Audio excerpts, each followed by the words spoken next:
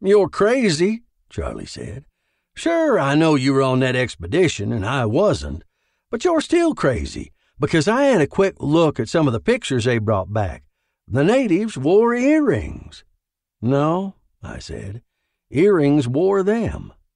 Blake sighed deeply. I knew it. I knew it, he said.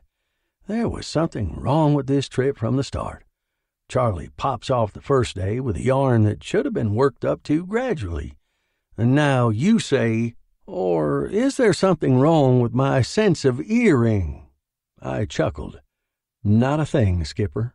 Charlie said, I've heard of men biting dogs, but earrings wearing people is a new one. Hank, I hate to say it, but just consider it said. Anyway, I had their attention, and now was as good a time as any.